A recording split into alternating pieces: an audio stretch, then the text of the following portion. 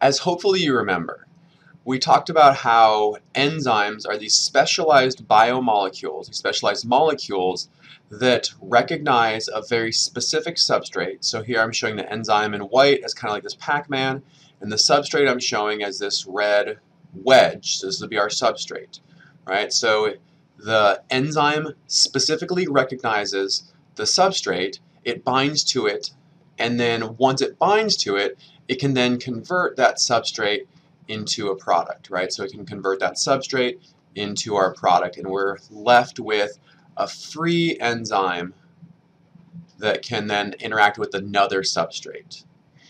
Okay, so the way that um, drugs work is that they target the same enzyme that the substrate wants to bind to.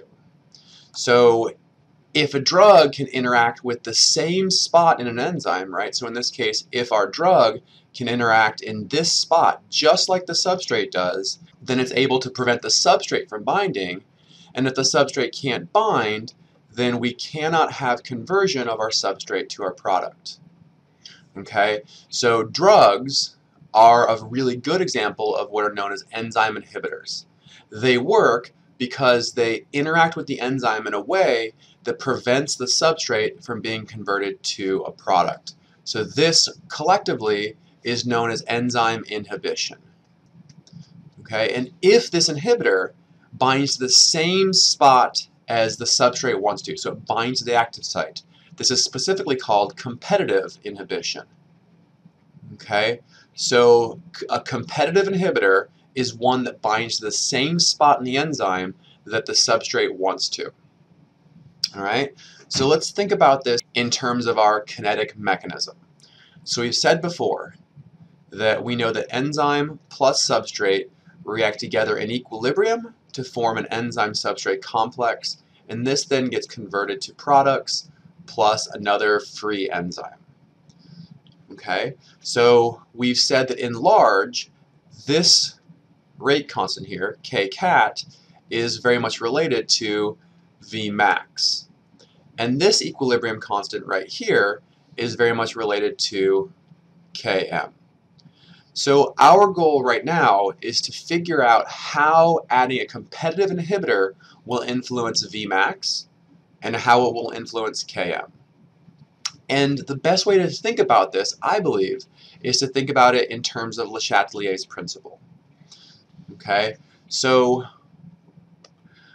this equilibrium is influenced by adding an inhibitor because the inhibitor reacts with the enzyme in a way that competes for the active site with the substrate. So the enzyme, so if there's an inhibitor around, the enzyme can either bind to the inhibitor or it can bind to the substrate, but it can't bind to both of them.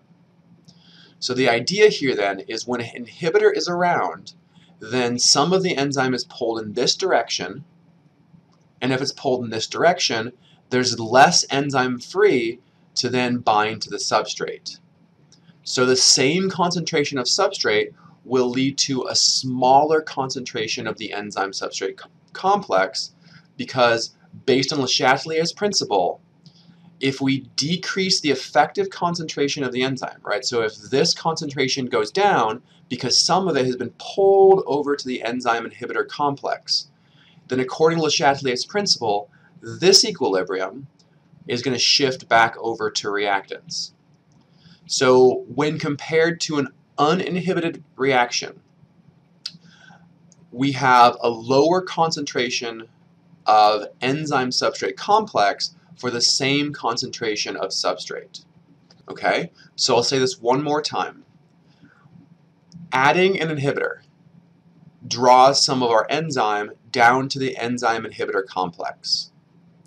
That decreases the concentration of our enzyme, resulting in some of the enzyme substrate complex to be drawn back over to reactants based on Le Chatelier's principle, right? A decrease in concentration of reactants means the reaction will shift towards reactants.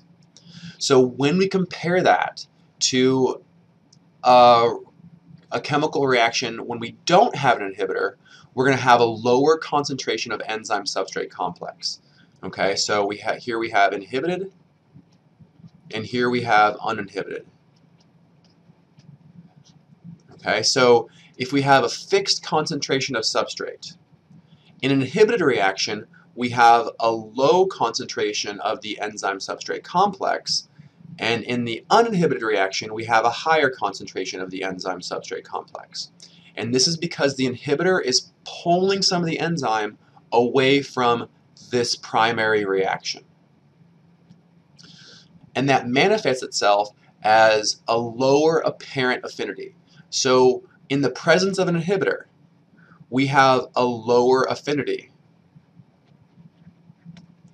than when we compare that to an uninhibited reaction where we uh, observe a higher affinity.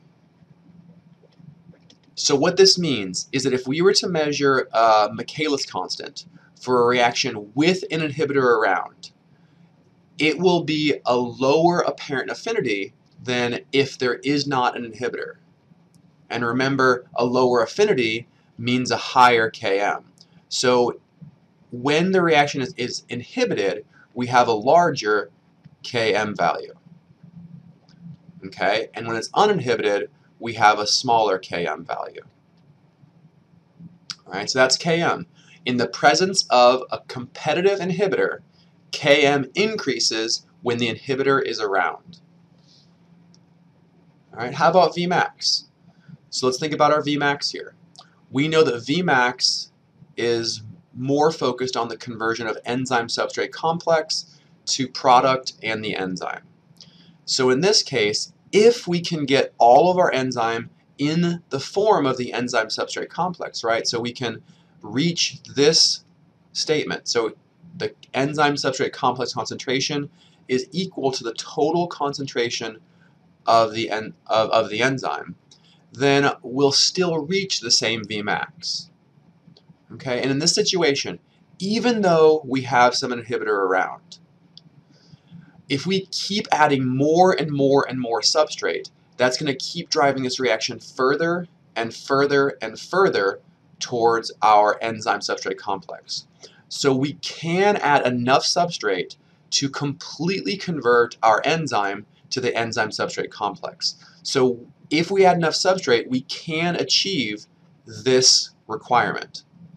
And since we can achieve this, since all of the enzyme can become the enzyme substrate complex, we should see no change in Vmax.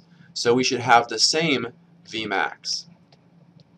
In the next video, we'll go ahead and look and see how uh, our, our Michaelis-Menten plot and our Lineweaver-Burk plot are influenced by adding a competitive inhibitor.